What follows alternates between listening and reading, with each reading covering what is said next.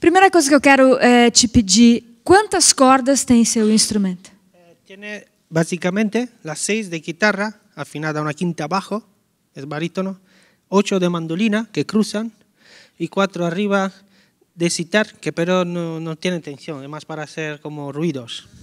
18 cordas. Sí, 18. Muito bem. Quando é que você começou a preparar essa guitarra? Empecé no, el 93 y hasta el 97, más o menos ya en el 97 ya estaba así como está ahora. Nessa configuração assim, como ela está? Pero para llegar realmente a este instrumento, unos 12 años. 12 anos para chegar nesse Ha instrumento. como una capa detrás de la otra. Uma, uma, uma, uma capa atrás da outra, você disse? Quer dizer, você foi pondo as cordas e aí depois os. Quando foi que você colocou, por exemplo, os cabos de bicicleta com os, os negocinhos de piano ali, que eu não sei como chamam? Eso ha sido la primera transformación. Primero, primero ha sido el poder tocar con arco. Aquí también está mi maestra, primera maestra de, de violonchelo, que vive aquí en Brasil, Mariana. Y, y nada, yo no tenía oportunidad de comprar un cello, además era guitarrista. Entonces, primera cosa, empecé a tocar con arco simplemente poniéndole el soporte de cello. Primera transformación. Segunda, ya que yo tocaba ya batería, tenía las, estaba acostumbrado a tener independencia de las piernas. Entonces monté este sistema, nos hace Sim, vamos ali. martillo de piano. Sí, son martillos de piano Martelinhos de piano. conectados con cable de bici a pedales, entonces.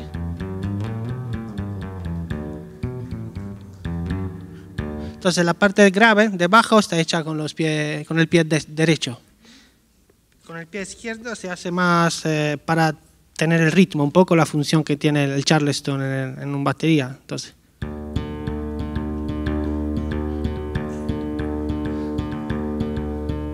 Y entonces tienes todavía las manos libres de poder tocar encima. Y cual- cualquier cosa, con arco o con dedos. Después estas son las cuerdas de mandolina y tienes pequeños motores sacados de coches de, de niños, ¿sabes? La- el motor. Y quedas el, el bordón con un pequeño trozo de cuerda y variación de velocidad. Tienes uno por estas cuerdas, uno por la cuerda principal.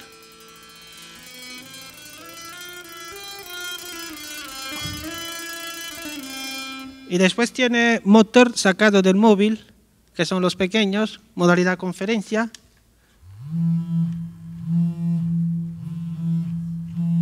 ¿No? Estos, claro, con variación de velocidad, elige la frecuencia y te hace el sonido más grave para tocar encima.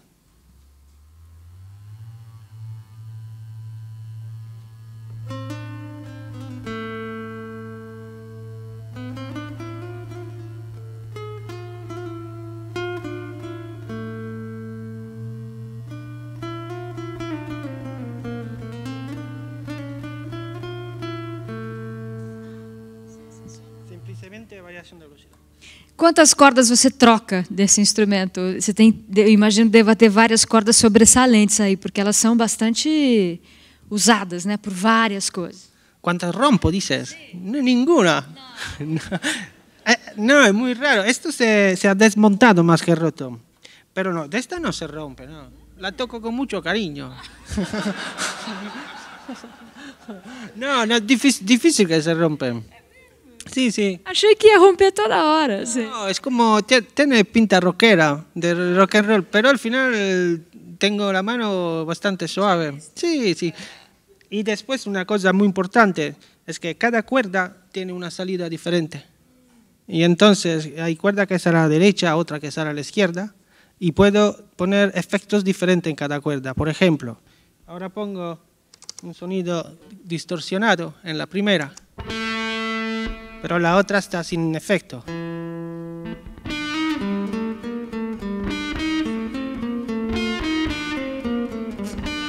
Y puedo poner un sonido más grave, una octava más ba- baja en las tres cuerdas.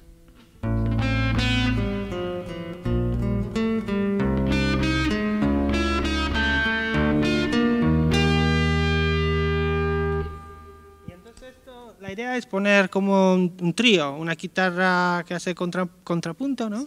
Una guitarra solista y un bajo, por ejemplo. Ahora había un trío en mi cabeza, ¿eh? Espetacular. Bom, a gente tem hoje aqui na plateia algumas pessoas que me interessa muito saber, me interessa saber o que pensam a respeito do que vimos aqui hoje e do que ouvimos. Por exemplo, o nosso querido Fernando do Duofel, Fernando Melo está aqui. E eu quero saber se ele quer fazer uma pergunta, se ele quer fazer algum comentário sobre o que você ouviu, Fernando. É maravilhoso, né? A criatividade dele e trazer um, um instrumento que eu nunca, nu, nunca imaginei que fosse acontecer isso, né? Na realidade, parece três ou quatro pessoas tocando ao mesmo tempo, né? Isso é lindo. Mas esse instrumento chama-se como? Violão, guitarra, como chama esse instrumento? Como é o nome da sua guitarra, Paulo? Sim. guitarra sarda preparada. Guitarra sarda preparada. Sim. Olha o microfone do seu lado. Porque guitarra, porque esto, la parte esta, es- ya sé que aquí es prohibido cantar. Sim. Sigue siendo prohibido esta. Mas agora, depois, agora pode. ¿Puedo? Esto es, naci- esta música nace así. Es que siendo sesco instrumental no he podido cantar. Esta guitarra nace para tocar esta música.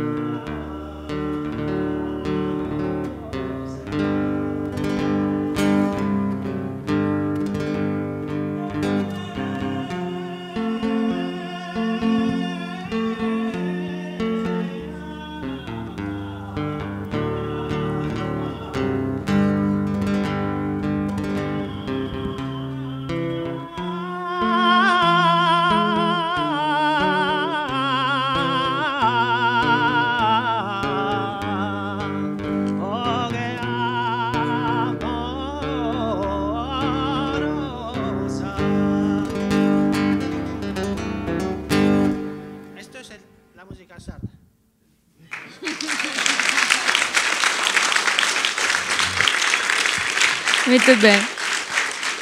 Agora eu vou aqui na Magda Pucci, que é do Mauarca, e que vai se encontrar com ele depois e tal. E queria que você fizesse algum comentário sobre isso que nós acabamos de ouvir, por exemplo. Paulo, eu queria saber como é que o pessoal lá da Sardenha, como as pessoas de Sardenha, eh, pensam a respeito do que ha hecho com, com a guitarra. Que pensaram, o que, que você fez? Você estragou a guitarra ou você melhorou a guitarra? Ah, com- Compreendido? Eh, me gustaría saber la opinión de los, de los cantantes de la- y de los tocadores de la guitarra que piensan sobre lo que ha hecho con la guitarra. Yo te puedo decir lo que pensaba mi maestro, que tenía 87 años, ¿no? Y yo compré una guitarra de Sardeña, que era solo esta madera, sin cuerdas añadidas, solo la guitarra, y se tocaba así, rasqueado, y ya está. Y cuando he ido, después de tres años que hacía clases con él, con la guitarra preparada, me ha dicho, te estropeaste tu guitarra. Tenía un sonido tan lindo y tú has estropeado todo. No se entiende nada con estos cables así, pero yo le he dicho, pruébala, por favor. Y saqué una foto, imaginas, un abuelo de 94 años tocando así. Parecía un falso histórico, pensaban todo, a Sardeña se toca ese instrumento tan raro, ¿no? Pero había sido hecho todo de mentira. Y claro, los tradicional me ve como un bicho raro, como aquí se veía Tom Z hace años, ¿no? Después, claro, ahora la gente está acostumbrada a, también a Sardeña, al, a- a que el- al tema que yo puedo tocar así, más, más abierto. Pero a mí me encanta tocar tradicional puro también. Ahora que vuelvo a España el día 14, por ejemplo, voy a tocar con dos cantadores que hacen improvisación y, y hace una competición a quien hace la melodía más compleja. Como el cante que he hecho ahora, dura 40 minutos. Vaya pesadilla, ¿no? Sí, entonces sí, la relación muy sana. Como yo sé que conozco muy bien la música de Sardeña y sé que no necesito que mostrarla todo, es algo mío, que es algo que tengo dentro y es una raíz. El árbol nunca te muestra sus raíces, están en la tierra, ¿no? Está escondida la raíz. Sí. Além de tudo é poeta, né, o moço, pensa. Agora quero saber da sua professora. Por favor, como foi essa coisa de dar aulas para ele? Já tinha essa, essa veia de inventor, mesmo tocando o cello? Na, na verdade, no começo, Paulo não sabia nada de arco. e Ele chegou na minha, na minha casa pedindo assim, uma ajuda para aprender a, a usar um pouquinho. E a gente se encontrou dessa forma. E, hum, acho que estava muito no comecinho. Que ano? 93? 93. É. É, depois a gente tocou junto em, em umas bandas de música experimental, sim, se divertiu bastante. E, e, lá eu descobri a veia, sim, assim, de, de inventor do Paulo. Mas quando eu dei aula para ele, para saber tocar com arco, eu acho que ainda não tinha essa capacidade de invenção. Já inventava? ¿Ya? Já? Nel 93? 93. Em- Già, sta- già stavi facendo le, le- le trasformazioni sulla chitarra? La transformación ha sido entre el 93 y el 96. Y los luthiers me echaban fuera de, de la lutería. Decía, eres un loco perdido, fuera. y la suerte mía ha sido encontrar un tío que hacía trabajo de metal como estos. Y él le decía, tenemos que hacer el martillo. Él, vale, no pasa nada, vente domingo. Y entonces ha sido segunda suerte eh, que abrí el concierto de Pat Metini, el- la leyenda del jazz, y él quedó impresionado y me dice, tú no te das cuenta de cuánto tu instrumento puede impactar el mundo de la guitarra contemporánea y me pidió una copia del mismo instrumento. Entonces ahora hay dos, esta que estoy tocando yo y la que tiene Pat Metini, eh, que la llevada en el tour orquestrión. Entonces, esta también ha sido una aventura linda, porque además cuando él ha venido, en este momento los luthiers abrieron la puerta, porque claro, se construyeron dos guitarras. y cuando, cuando llegó Pat Metheny era muy divertido, porque ella que es de Bolonia, sabes cuánto folclore hay en la gente, en los artesanos. Y Metheny, imagináis, la star que entra en una botega de gente que trabaja madera y que tiene 70 años, y Metheny ha dicho, uy, qué bien, la guitarra me encanta cómo ha salido, pero un favor, ¿podéis hacer un corte aquí, sabes, como guitarra de jazz? El, el- el viejo, el abuelo dice, no pasa nada, pásame un sierra y martillo, por favor. y llega el, el hijo, le da la sierra y el martillo, él se pone así, y Metheny dice, no, no, no, por favor, ¿qué haces? Y le dices a la rockstar, "Oh, ahora entiendo, tú eres como lo que vas del doctor y tiene medio- miedo de que te pinchan. Pero ¿cómo te crees que se hace guitarra? Martillo, sierra, pero ya que está impresionado lo haré cuando tú no estás aquí.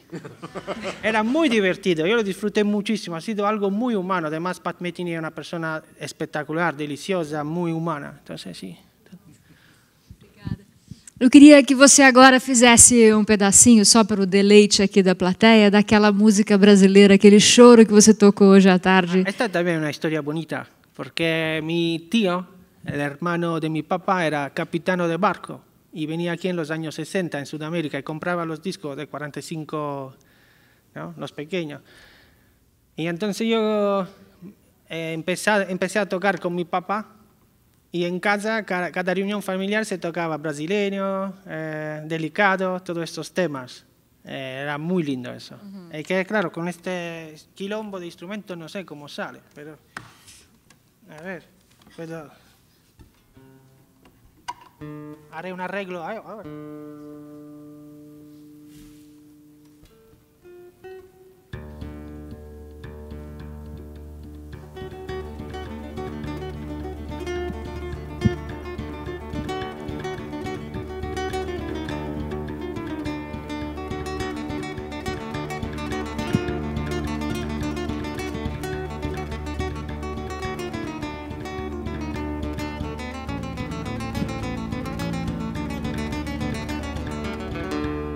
Nombre no me acuerdo. Arrasou, muito bom.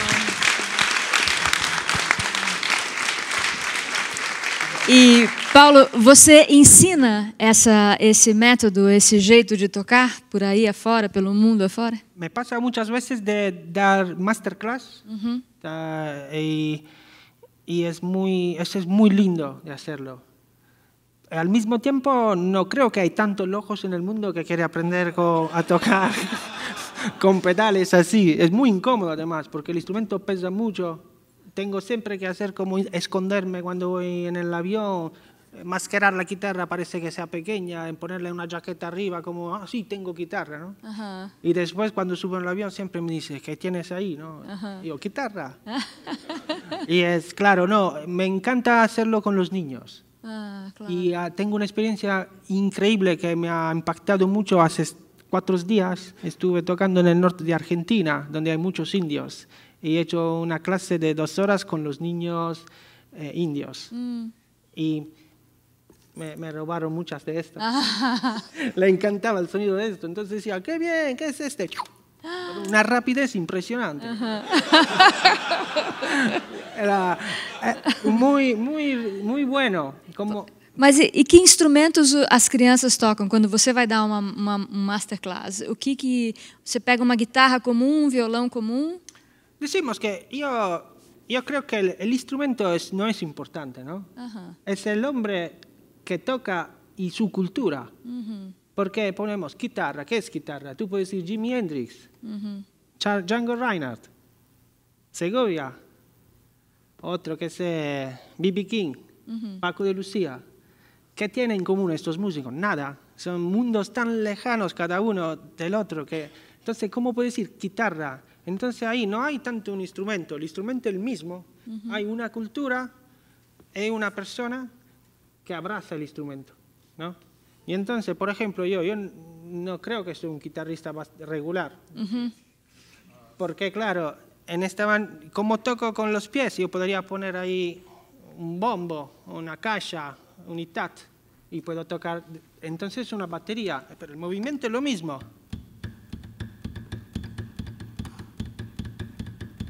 Pero aplicada a este instrumento, sale sonidos, no sale solo en la percusión. Y entonces es como, como la musicalidad del, del ser humano. Esa es la maravilla que nos diferencia todo en el mundo. Aquí a Brasil hay una cosa, vas a Uruguay hay otra, vas a Argentina otra, vas a cerca del mar y todo respira más lento. Vas a en la montaña y tiene otros sonidos. es, la, es, es la cultura, yo creo, ¿no? Sim, sim, sem dúvida. Tem eh, pergunta da plateia?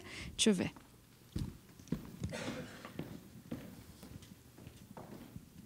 Vamos ver. Perguntas da plateia.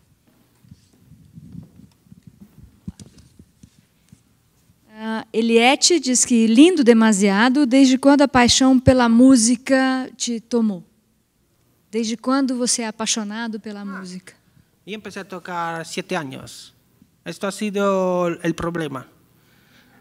Porque yo no elegí la guitarra, sino que en, en mi casa había guitarra, ya está. En- y llegué a un punto que a mí no me gustaba más la guitarra, que quería, por ejemplo, aprender cello porque me gustaba mucho más el sonido de un cello que un sonido de guitarra.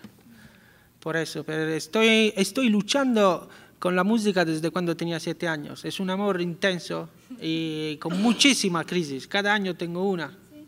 E aí inventa uma corda nova, põe uma Sí, coisa por nova. ejemplo, es- esto lo quiero decir porque lo he hecho antes de venir aquí en turné. Lo he hecho dos días antes, entonces no lo he utilizado mucho hoy porque, claro, tengo que practicarlo. Pero este es, es el sonido normal.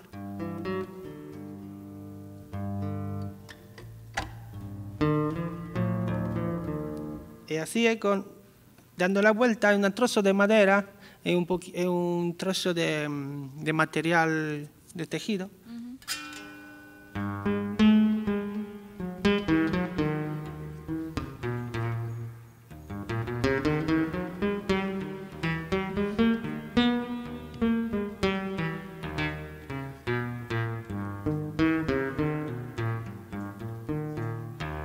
Y esto da la vuelta así ya vuelve a ser guitarra.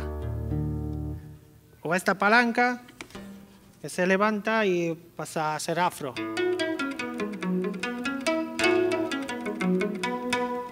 Y es solo una palanca de madera.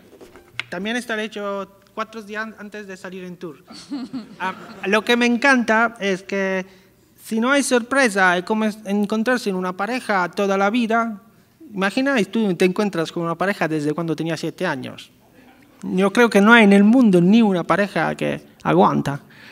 En general hay tercer año crisis, séptimo año crisis profunda y se sale de eso igual, si tienes hijos, aguanta y sigue toda la vida juntos, ¿no? O no sigue la vida. eh. Y con la música es igual, lo mismo, no tiene ninguna diferencia, yo creo, es como, es cada vez poner algo que te da la ilusión de empezar a tocar de cero, como un niño, como tienes que descubrir algo que no, que no- de la cual no tenía ningún conocimiento. Entonces cuando tienes esta sorpresa, que es algo que tú no conoces, entonces pasas horas en tu cuarto, en casa, y tienes una gana impresionante de, de tocar y. Sí, pasa siete horas ahí y ni te das cuenta que estás ensayando. Es un, es un lujo, es, un, es realmente un privilegio total vivir con la música una relación tan, tan profunda. Aqui da plateia também, o que realmente motivou você a tocar sozinho? E se a sua música Primavera Árabe é alegre ou triste e dolorosa? Primavera Árabe es un tema que me encanta tocar es, un- es más que triste, es triste y dolorosa y alegre al mismo tiempo. ¿Por qué? Porque claro, para quien sabe lo que ha pasado en el mundo árabe en los últimos tres, cuatro años, sabes que lo que ha pasado ha sido la consecuencia de lo que había hecho Bush muchos años antes. Y ha, dejado mucha tensión social, todo eso. Y la gente ha intentado de salir de esto. Yo me he ido a tocar en Túnez hace poco y fue una experiencia maravillosa, por ejemplo.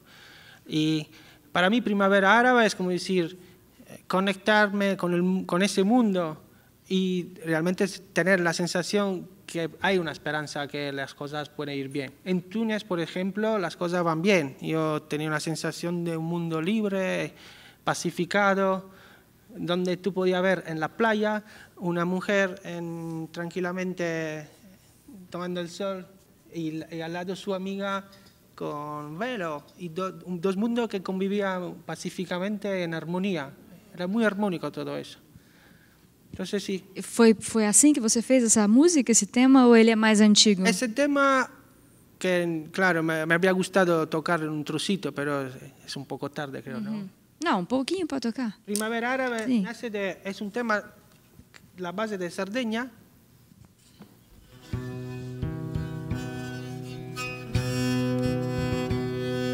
No has horas en camino sopra cantare un'estella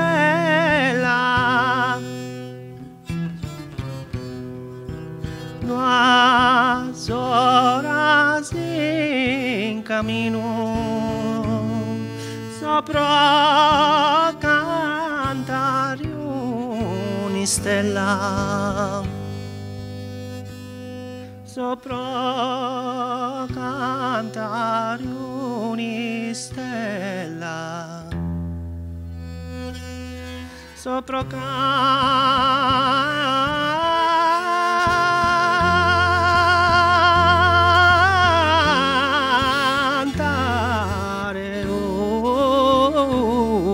un'estella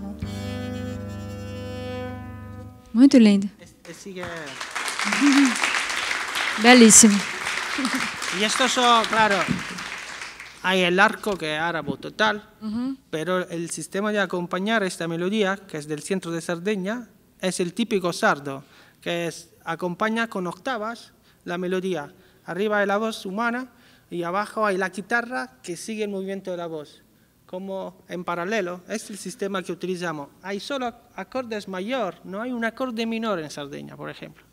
Estás como guarda retro, não, não minore. Muito bom. Paulo, onde que a gente encontra a sua música? Tem discos aqui fora para comprar, eh, inter, internet? É, em minha página web podia escutar como 3, 4 horas de músicas sem pagar nada, que é muito importante. Aí também minha página Facebook está sempre atualizada. E, claro, alguém que quer comprar um disco físico he traído algunas copias de los últimos dos discos. Entonces podéis aprovechar también de un CD y escucharlo así.